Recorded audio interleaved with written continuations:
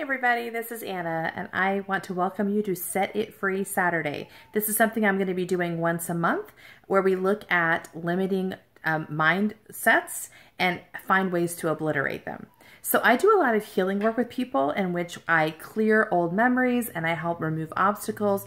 But I realize that even when the initial problem is removed, it often comes down to habit and how we live our lives. So even though we are cleared of the wound, which was causing a pattern of behavior, we still have the pattern. So we have to take active steps to change the pattern we have been living with.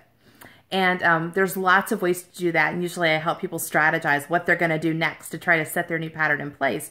But one thing that's really crazy simple, but really effective is to identify a mindset that's in your way and just write a correcting mindset for yourself and then put it up all over your world so that you are reading it, you know, regularly in the bathroom mirror and in your bedroom and, you know, at, on your the dashboard of your car. And every time you read it, it's like you're setting a new pattern in place. And you do that for 30 days and the new mindset is there. And it sounds so ridiculous and so easy, but it's really effective.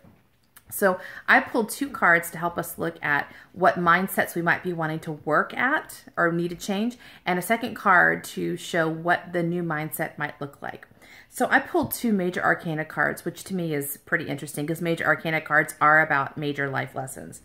The first card I pulled was the High Priestess reversed. So the High Priestess is the incubation card. It's that time in your life where you had an idea and it's sort of brewing under the surface, almost like you're pregnant with the idea. So it's brewing and it's, it's coming to fruition, okay?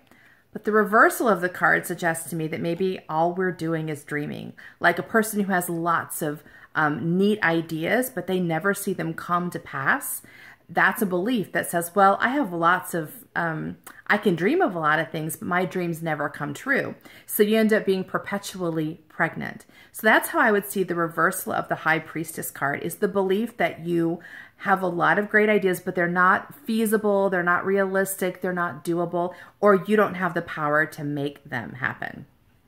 Now, the correcting card is the chariot reversed this is really cool because the chariot card is about making things happen. You can see this is a charioteer is sitting in his chariot. He's got two sphinxes in front of him. He doesn't even have reins, which basically tells us that the second he decides what he wants to do, they're immediately going to carry him there. They're just going to read his mind and take him there. So this is a seven card. So it's about discernment. It's about saying, what do you want? Make up your mind, set your path, and away you go. Now, the reversal of the card tells me this is something we need to internalize. We need to realize that once we know what we want and we say it clearly and definitively, and we clear out the old mindsets that tell us we're not capable of that, the sphinxes in our lives, which, which set our path, will immediately move into action and we'll be able to be unstoppable in what we want. So, the correcting belief might be something like this.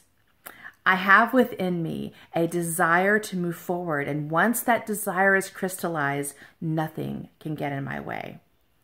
So, if you're discovering that you're struggling with the high priestess reversed, that may be your correcting mindset. Or you could write it your own way, obviously. But whatever you do, go ahead and write that mindset, write your own version of it, and put it up in your world for the next 30 days.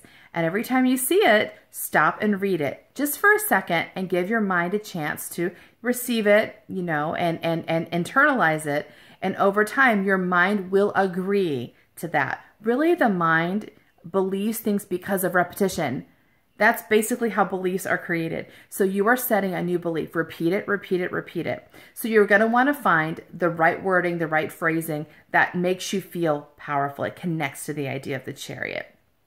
And, um, and see what happens. In 30 days, this new mindset will be in place and um, you'll start seeing things happen. So I hope that's helpful for you and I will be with you next month for our next Set It Free Saturday. Bye.